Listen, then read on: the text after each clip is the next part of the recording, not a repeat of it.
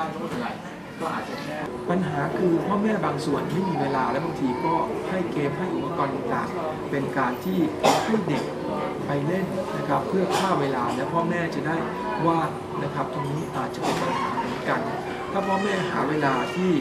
เด็กมาร่วมกันเล่นอะไรต่างๆ ที่สนุกสนานก็อาจจะช่วยลดโอกาสที่เกิดการติด